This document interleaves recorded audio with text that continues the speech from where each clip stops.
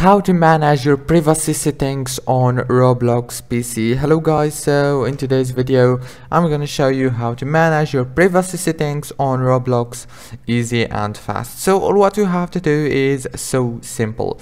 Go to roblox.com i'm gonna refresh the page. Now this is the home page as you can see.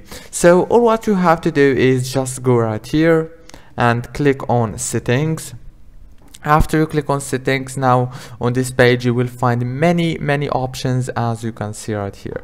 Just click here on privacy. On this privacy settings you will be able to manage the account restrictions the communication the chat filtering level and uh, who can message you and many other settings as you can see. If this video was helpful for you i hope to uh, you put a like and subscribe and thank you so much for watching until the end. See you later and thank you so much